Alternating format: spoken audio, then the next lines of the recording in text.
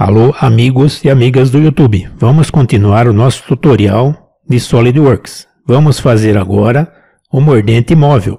Vamos desenhar esta peça. O desenho em PDF está no meu canal, é só vocês pegarem, tá os desenhos do conjunto e dos detalhes. É só baixar. Bom tutorial e vamos a ele. Vamos começar uma peça nova. Novo, dar um clique, peça, dar um clique, ok, dar outro clique. Estamos na tela do SolidWorks. Vamos fazer o perfil. Vamos dar uma olhada aqui no PDF. Nós vamos fazer este perfil. 45, 64, 9, 16. Vamos a ele, vamos voltar ao Solid. Eu vou em esboço, já está em esboço aqui, vou pegar o comando esboço, vou selecionar o plano frontal e vou fazer o desenho.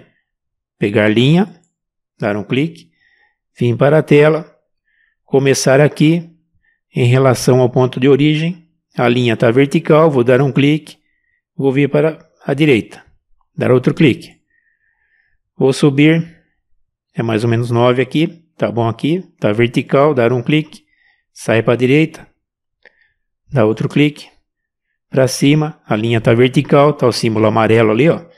Vou dar outro clique, sair para a esquerda, dar outro clique, descer, alinhar com essa linha aqui de baixo, deixar vertical, dar um clique, vir para a direita, alinhar com essa linha de baixo, dar um clique, vir aqui, dar um clique, terminar o comando linha, um clique, mais um clique. Vou clicar na tela para tirar seleção de qualquer coisa, vou pegar dimensão, dimensão inteligente, vou vir aqui embaixo, clicar nesta linha, sair, dar um clique aqui. Aqui é 16. E confirmar, ok. Daqui até esta outra linha, dar um clique, dar um clique fora. Aqui é 9. E dar ok. Desta linha até esta linha, dar um clique aqui fora. Aqui é 64. Ok. Desta linha até esta linha, Vamos colocar restrições no desenho. Vamos vir aqui embaixo, aumentar. O meio da linha está aqui e o ponto de origem do SolidWorks está aqui. Vamos unir esses dois pontos. Eu vou clicar neste ponto, meio da linha, apertar Shift, segurar, dar um clique no ponto de origem do Solid. E vou colocar coincidente. E ok. Vou dar dois cliques na tela eu vou fazer esta linha ficar colinear com essa outra linha. Vou clicar nesta linha, Shift, segurar, clicar nesta outra linha. Eu posso colocar colinear ou horizontal, tanto faz. Vamos colocar colinear. Pronto, alinhou as duas linhas. Vamos dar dois cliques na tela. Eu vou alinhar o meio dessa linha vertical com o meio do, do SolidWorks, com ponto de origem. Vou clicar aqui, apertar Shift, segurar, clicar na origem do Solid. E vou colocar vertical. Pronto, meu, de, meu desenho está restringido. Só falta acertar esta cota. Esta cota é 45. Então vamos fechar aqui.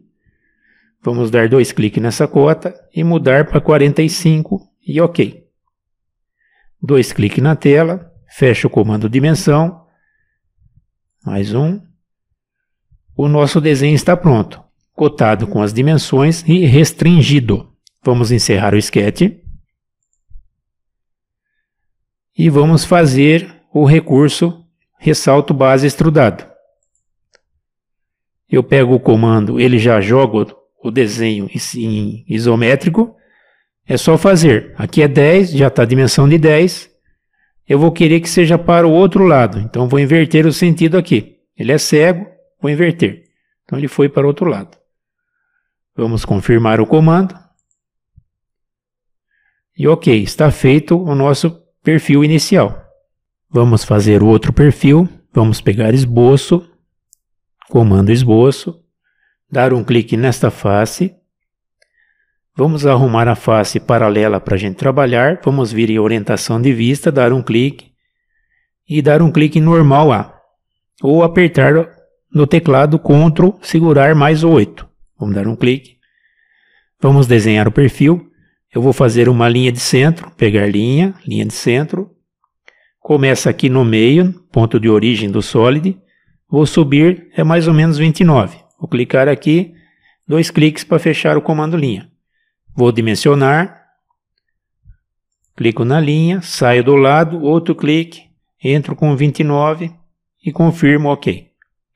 Vou desenhar o círculo, vou pegar comando círculo, vou clicar no final da linha que acabamos de fazer, peguei o final da linha, aparece o símbolo de amarelo, vamos até em cima, clicar aqui no meio da, desse segmento aqui que apareceu tracejado. Vou desenhar linha, pegar comando linha, pegar tangente, aparece o símbolo amarelinho, tangente, vamos clicar, saio para baixo, mais ou menos aqui tá bom, vou dar um clique, vou clicar na linha do lado. Vou continuar de desenhando o perfil para fechar o nosso, nosso perfil, para fazer o extrude depois. Então vou clicar no final da linha, no final da linha no canto, no final da linha no canto, vou dando clique aqui, aqui no outro canto, neste outro canto, subir até ficar alinhado com esta linha da esquerda. Está alinhado, vou dar o clique. Vamos fazer a outra linha aqui, mais ou menos aqui tá bom, e levar aqui, colocar tangência. Dois cliques, encerrou. Vamos aparar o círculo, vamos pegar aparar entidades. Está selecionada a paragem ativa. Vamos clicar aqui, segurar e arrastar em cima da linha. Clicar aqui, segurar arrastar sobre a linha. Vamos fazer as restrições. Vamos fechar aqui a parar. Eu vou clicar nesta linha, apertar Shift, segurar, clicar na outra linha. Vou vir aqui e colocar uma tangência entre as duas linhas. E ok. Do mesmo modo, do outro lado, vou clicar nesta linha, Vou clicar nesta linha com o Shift apertado segurando. Vou vir em tangente. E ok. Vamos colocar dimensão aqui. Dimensão inteligente. Clicar nesta linha, clicar nesta outra linha. Sair para fora. Aqui é 7. E ok. Vamos clicar no arco. Clicar aqui. E entrar com um raio de 16. Ok. Vamos entrar com o ângulo, esta linha, com a linha de centro. Vamos dar um clique aqui, 26 é o grau desejado. Do mesmo modo do outro lado, clicar na linha de centro, clicar na linha, vir para cá, clicar e entrar com o ângulo. Confirmar. Só falta alinhar esta linha com essa outra linha. Vamos sair do comando dimensão, vamos clicar nesta linha, apertar Shift, segurar, clicar na outra linha, e colocar colinear e dar OK. Pronto, nosso desenho está restringido. Falta colocar o furo. Vamos pegar círculo, clicar aqui, sair, dimensão. Aqui o diâmetro é 12. Vamos colocar 12, OK. Encerrar dimensão, clicar na tela o nosso perfil está restringido completamente, com dimensão e com as restrições necessárias que nós colocamos. Vamos fechar o, o sketch, dar OK aqui. Vamos pegar recursos, ressalto base extrudado. Vamos clicar aqui em orientação de vista, isométrico, dar um clique.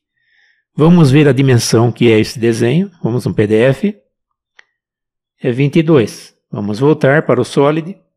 Vamos entrar com 22. E OK. E OK mais uma vez. Fechar o comando. Está feito. Clicar na tela, tirar a seleção. Vamos salvar a nossa peça. Nós temos aqui a pasta morsa. Vamos salvar aí dentro. Vamos dar um clique aqui, renomear. Mordente móvel.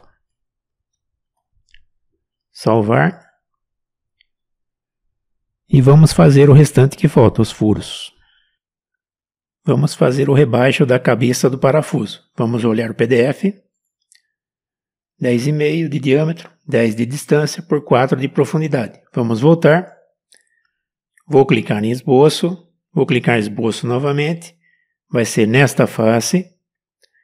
Eu vou desenhar um círculo alinhado com o meio da linha. Aqui. Puxo para fora, desenho o círculo. Vou dimensionar o círculo dimensão, clico no círculo, saio para fora, 10.5. E a distância daqui até o centro do furo, 10. E ok. E vou alinhar aqui os, o, meio do, o centro do círculo com o meio da peça. Vamos fechar dimensão. Eu vou clicar no centro do furo, apertar Shift, segurar e o meio do segmento ou centro de origem que está aparecendo ali. E vou colocar vertical.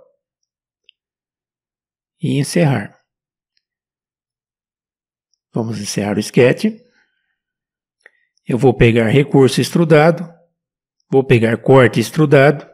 Ele seleciona lá. A profundidade é 4. Vou entrar com 4 aqui. E ok. Eu vou fazer agora um furo com rosca. Vou pegar aqui assistente de furação.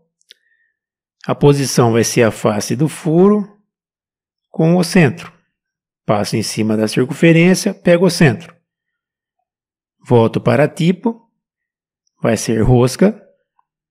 Tarraxa reta. Vamos para baixo aqui, clicar na seta. Métrico, furo roscado, M6 por 1. E até o próximo que é o o furo da peça aqui. A designação opção está tá aqui, com chamada da rosca, vamos confirmar. Está feita a nossa rosca. Vamos salvar até esse momento. Vamos tirar a seleção, dar um clique na tela. Vamos rolar a peça, clicar com o botão do meio, segurar e arrastar. Vamos virar, vamos fazer os furos com rosca aqui embaixo. Vamos ver no PDF. Nós temos dois furos com rosca 10 e 12. Rosca 10 de comprimento por 12 de furo. E o centro está aqui. 16, 8 e M6 por 1. Vamos voltar para o Solid. Vamos pegar o assistente de furação. Vamos vir em posição. Vamos clicar nesta face.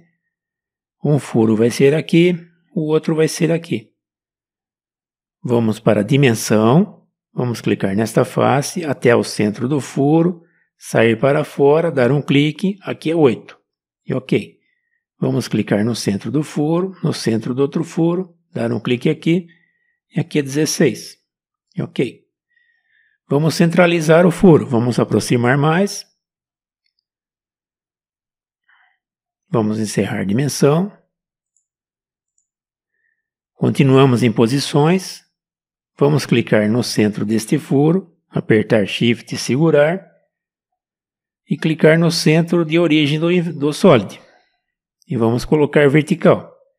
Do mesmo modo aqui embaixo, vamos clicar nesse centro, apertar Shift, segurar, clicar no centro do Solid. E vertical novamente. Pronto, está posicionado. Voltamos para a definição de rosca. Vamos para tipo. Vai ser tarraxa reta. Vamos abaixar aqui.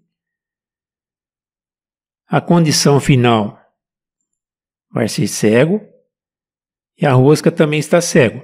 Então aqui nós temos aqui nós temos profundidade do furo, vai ser 12, vamos acertar.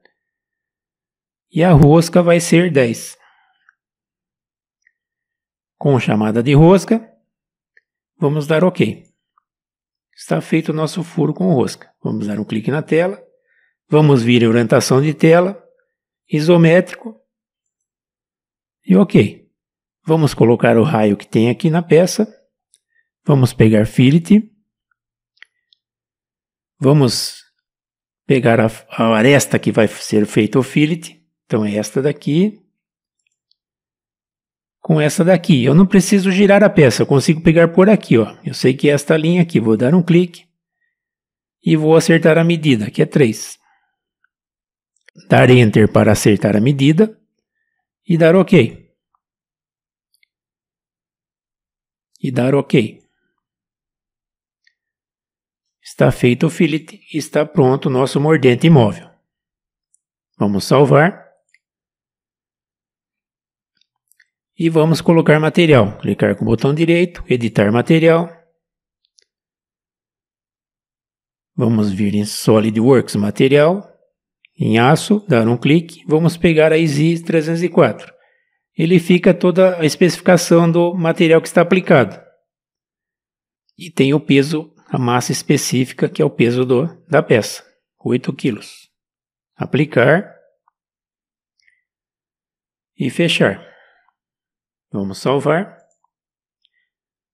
Está pronto o mordente móvel. Se você gostou desse tutorial, dê a sua joinha, dê o seu like, compartilhe e se inscreva no nosso canal. Ajude-nos a melhorar os nossos tutoriais. Um abraço, até o próximo.